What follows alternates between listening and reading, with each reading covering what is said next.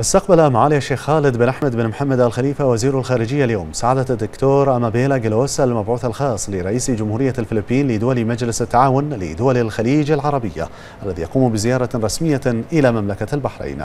وخلال اللقاء رحب معالي وزير الخارجية بالمبعوث الخاص لرئيس جمهورية الفلبين مشيدا معاليه بتنامي علاقات الصداقة بين البحرين والفلبين وما تشهده من تطور في مختلف المجالات وعلى كافة الأصعدة. مستعرضا معاليه سبل تعزيز التعاون والتنسيق المشترك بما يعود بالخير والمنفعة على البلدين والشعبين الصديقين.